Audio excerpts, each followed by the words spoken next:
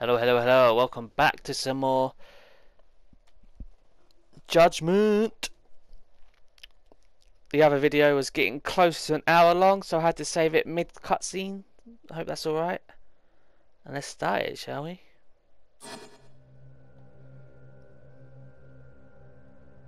私は先端創薬開発センターの研究員です センター付属の入院棟ではさまざまな新薬の臨床試験が行われてましてそれで事件の日もいつも通り患者さんたちの様子を見に行ってました。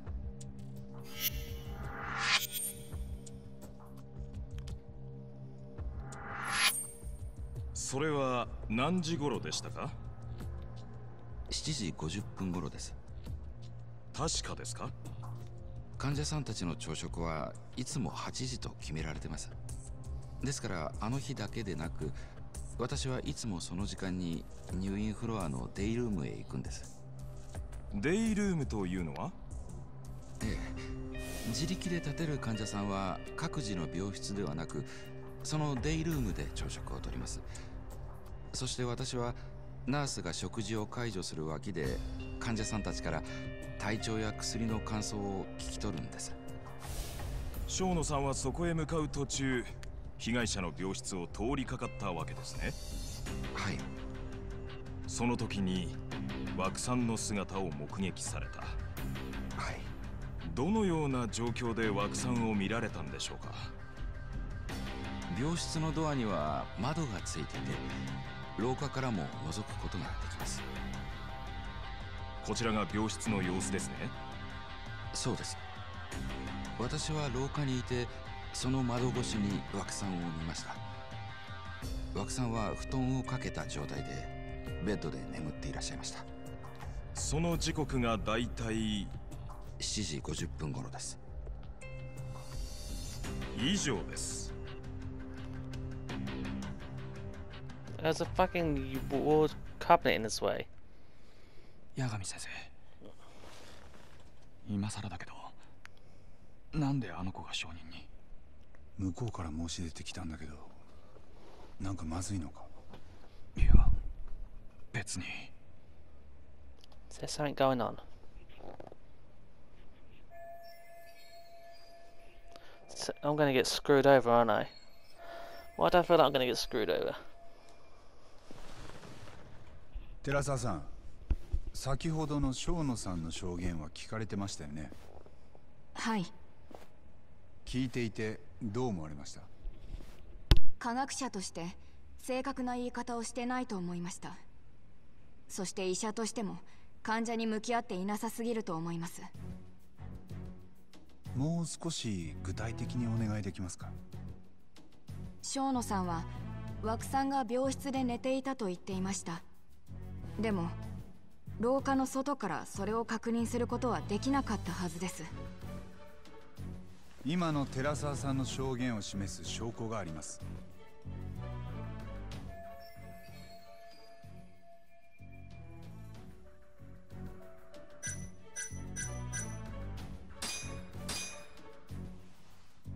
こちらをご覧ください。被害者の病室をドア外から撮影した写真です。つまり生野さんが枠さんを目撃した時もこんな風に見えたはずです。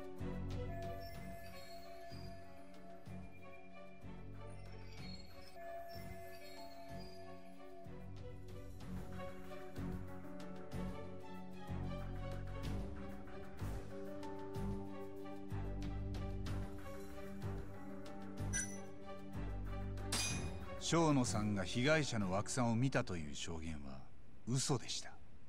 何？なぜなら生野さんが見たものは枠さんであるとは限りません。単に布団の膨らみを見ただけの可能性がある。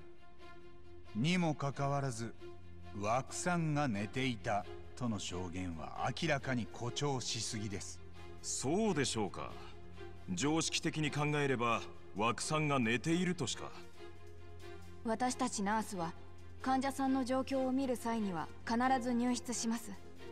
枠さんのこの病室の場合廊下から室内を覗き込んだだけでは何も分かりません。以前布団の膨らみを見て患者さんがベッドにいると思い込んでいるとデイルームでお食事中だったということも実際に何度かありました。その時は布団の中に枕が入り込んで人がいるように見えてしまってたんです。ここは大事なところです。検察は被害者が病室から運び出された時間を生野さんの証言により7時50分頃から8時半までとしています。そしてその間枠さんの遺体を隠して運べたのはランドリーカートを押していた被告人しかいなかったと。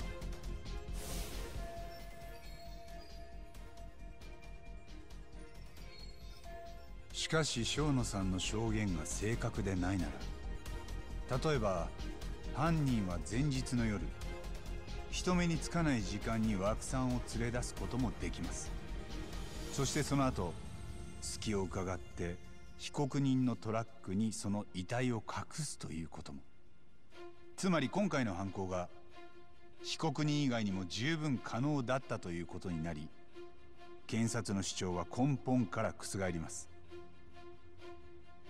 裁判長この新たな証言を踏まえ検察側証人の正野氏に対して再度尋問させてください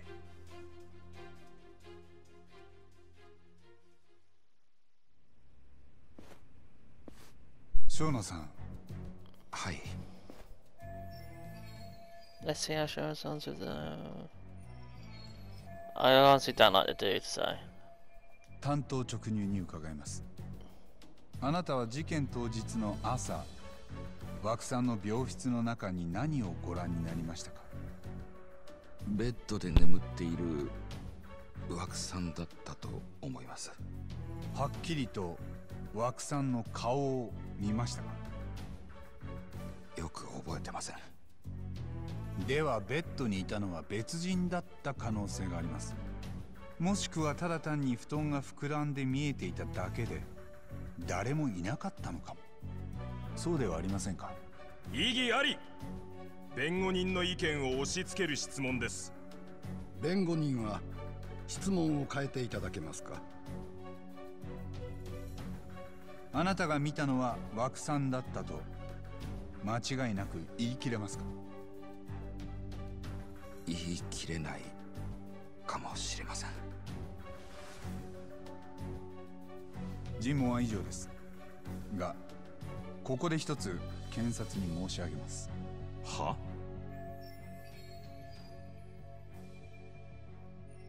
？Time for the kill. Kill, kill, kill. 被告人は犯行がわずかな時間帯に行われたという前提のもとただ一人の被疑者として起訴されました。しかし正確性に欠ける目撃証言が崩れた今犯行は被告人以外の人物にも十分可能だったと考えられます。そこで検察は控訴取り消しはお考えになりませんか？もうこの裁判自体が時間の無駄にもなりかねませんので。検察は目撃証言が崩れたとは認識しておりません。些細な点で記憶が曖昧だとしても証人が被害者を目撃したことは間違いありません。それでは正確性に欠けると思いませんか？善とある若者を殺人という罪で裁くこの場で生野氏の証言は完全に信頼できると言えますか？生野氏は誠実な科学者です。幼い頃に認知症のおばあ様の姿を見て育ちその特効薬を作ろうと苦学の末に先端創薬開発センターで指折りの科学者にまでなった。日夜研究しそして患者をいたわる気持ちから日々巡回していたことで今回の目撃証言につながったんです。その証言を完全に信頼できるかと聞かれれば間違いないと答えるほかありません。すると検察はこれまでもこれからも生野さんが言うことなら何でも頭ごなしに信じると。そういうわけですか。証人の肩書きを信頼しすぎて証言への裏付けが不十分だったのではありませんか。証人の肩書きに左右されることはありません。検察は DV の前科を持つ被告人の証言にさえ聞く耳を持っています。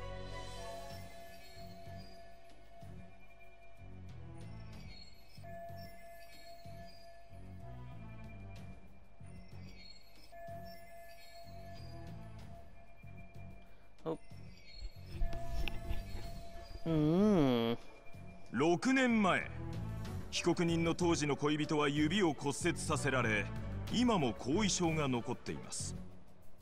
原因は飲酒と些細な日常生活での行き違いでした。一方今回被告人は事件のあった数日前に被害者の枠さんから財布を盗んだと疑われ顔をはたかれています。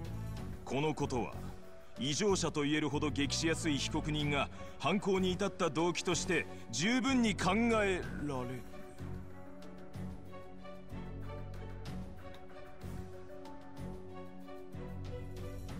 どうされました？大抵しないのであればお座りください。I'm his girlfriend.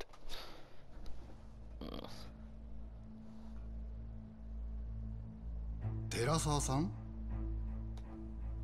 大久保さんは異常者じゃありません。6年前に暴力を振るってからは一滴もお酒を飲んでません。勝手な発言は控えてください。枠さんに殴られたことも認知症の症状の一つと理解してました。だから恨みなんてしない。それが殺人の理由なんて考えられない。寺沢さんもういい。大久保さんにだっていいところはいっぱいあります今すぐ退廷を命じます。確かに愛想はいい方じゃないけど仕事熱心だし約束は絶対に守るし。大久保さんは万が一自分が有罪になったら私に迷惑がかかるから。だから私に証言はするなって。だから弁護士にさえ私たちが付き合っていること絶対に言うなって。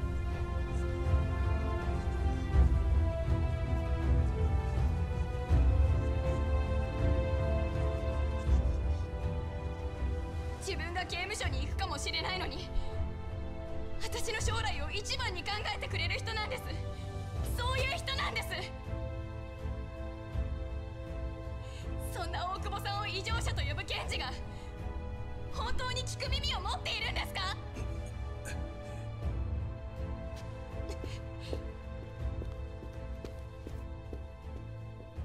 それからも審理は続いたが彼女の捨て台詞が判決の行方を決定づけたように思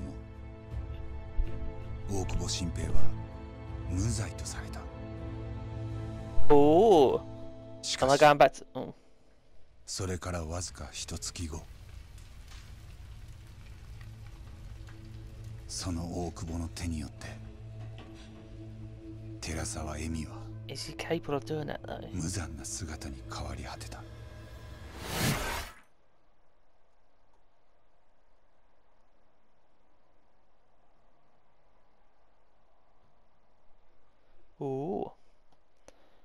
going to prove his innocence in this game? Oh, back in the present.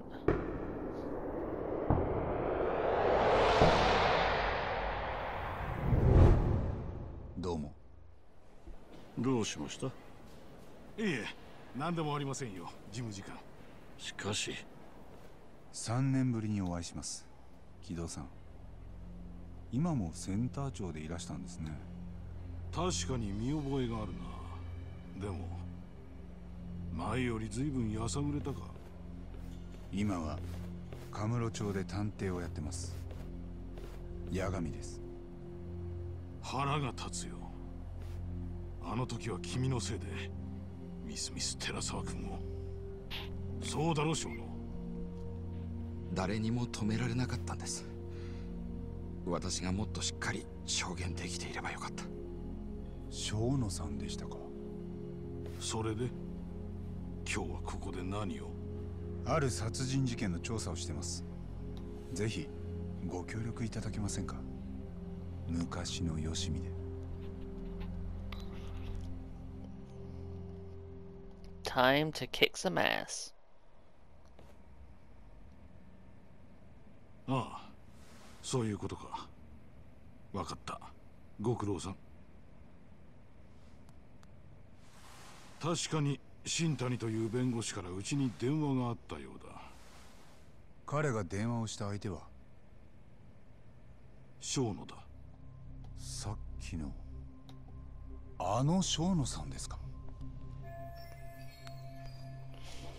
？Mmm. Shintani. Is he a good guy or bad? まあ結局何の用だったかは分からずじまいだがね電話があった時小野は席を外していたしその新谷さんも伝言は残さなかった。でも何か心当たりは？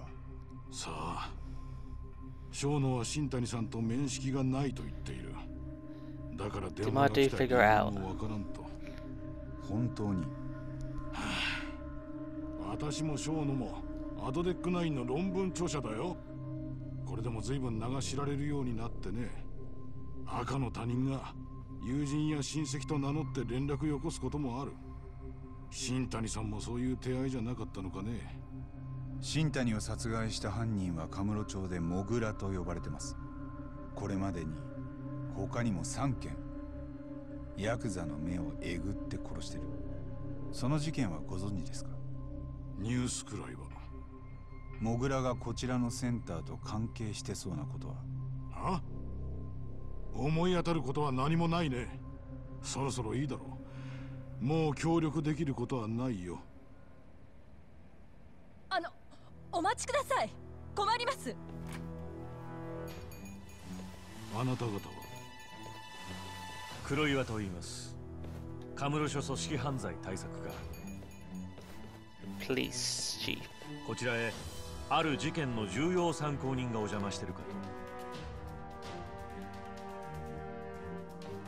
お前のことだぞ八神ん新谷弁護士殺害事件の重要参考人として話を聞かせてもらうなんだと Oh